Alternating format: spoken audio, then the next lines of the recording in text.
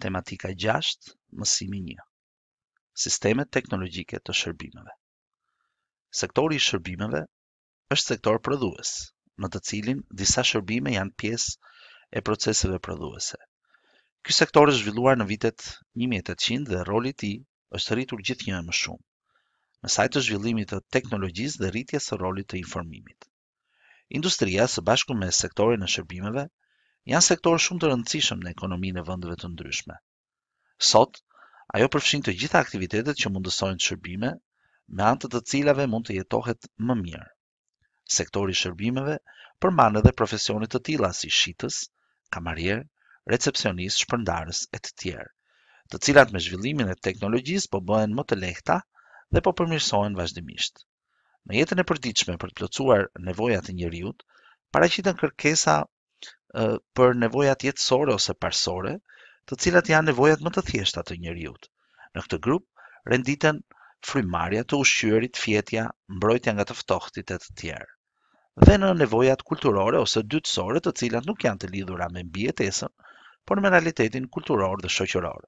Në këtë grup renditen nevojat për arsimim, për të njohur botën, për komunikim dhe argëtim e të tjerë.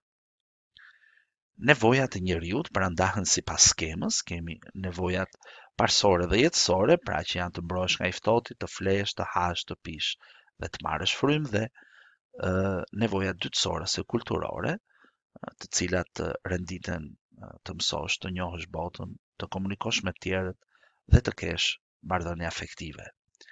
Nevojat e njeriut janë të shumëllojshme dhe kanë ndryshuar në epoka të ndryshme historike në bazë të vendndodhjes gjeografike dhe kulturës. Quajmë të mirë ekonomike çdo gjë që njeriu merr për të plotësuar një nevojë duke filluar nga më thjeshta si buka, sheqeri, frutat e tjerë që plotësojnë nevojën për t'u ushqyer dhe librat që plotësojnë nevojën për uh, arsimim, kulturë e tjerë. Disa të mira plotësohen drejtpërdrejt nga natyra, për shembull gurët natyrorë që përdoren në ndërtim dhe disa të tjera prodhohen nga njeriu nëpërmjet transformimit të lëndëve të para.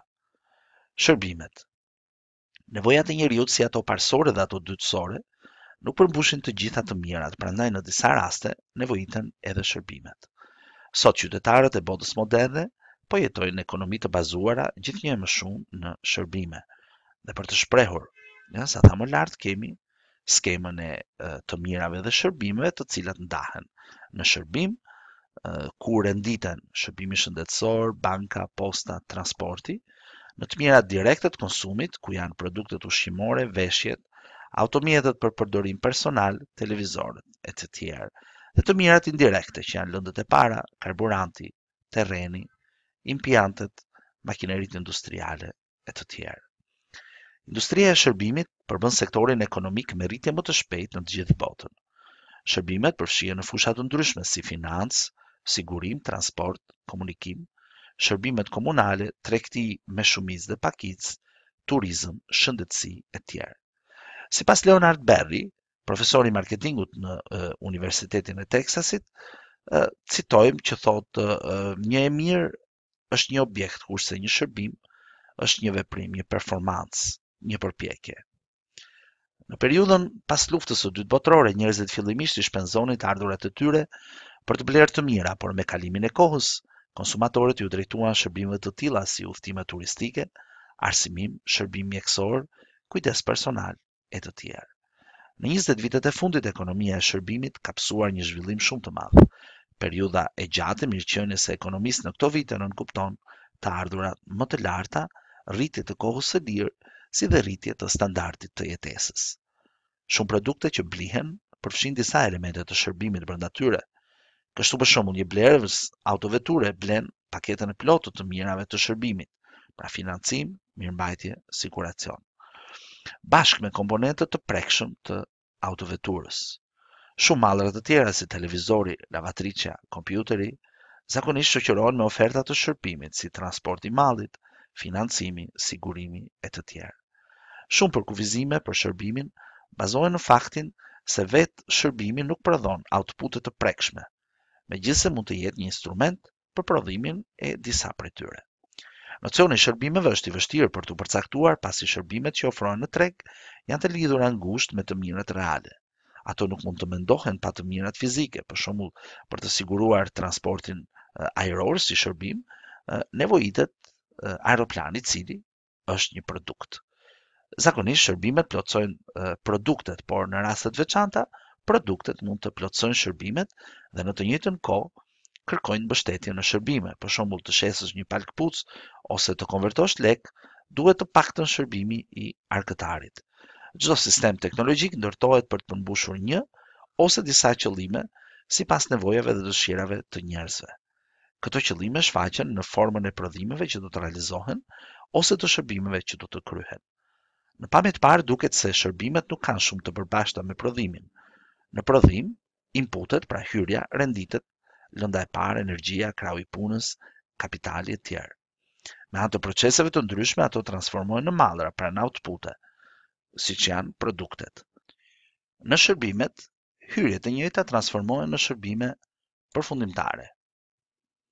Ndryshimet ndërmjet produktit dhe shërbimit janë se shërbimet nuk janë të prekshme, shërbimet krijohen dhe shpërndahen në të njëjtën kohë, shërbimet nuk mund të ruhen dhe shërbimet janë të dukshme për klientët. Shërbimet kryhen gjithmonë nëpërmjet punës që shpenzohet mbi objektet pa i shndërruar ato. Për shembull, në një restorant, personeli gjatë punës dhe shërbimit përdor një numër të madh enësh, pra inpute, të cilat pas shërbimit nëpërmjet larjes në pjatalarëse, i cili është një proces, pastrohen dhe kthehen në enë të pastër, pra ky është outputi. Ndërkohë, produktet që përftohen nga shndërrimi i lëndëve të para nëpërmjet procesit të prodhimit janë në ndryshimet kryesore midis produktit dhe shërbimit. Njihen dy lloj shërbimesh. Shërbime që konsiderohen objekti kryesor i një transaksioni, për shembull, kur merret autovetura me qira për të siguruar një shërbim, në këtë rast blihet përdorimi i autoveturës dhe jo autovetura në vetvete. Shërbime plotësuese, për shembull kur blihet një televizor, shërbimi i pagesës kryhet me anë të informimit nga ana e shitësit, me pagesë me kartë krediti ose nëpërmjet shërbimit bankar. Në të tilla raste, këto shërbime mbështesin ose lehtësojnë shitjen e produktit. Pyetjet që na dalin në këtë mësim janë disa dhe po i rendisim më poshtë. Cilat janë ndryshimet ndërmjet produktit dhe shërbimit? i rendisni ato? Si ndërtohet sistemi teknologjik për të përmbushur dëshirat e njerëzve? Cilët janë elementet kryesore të shërbimit?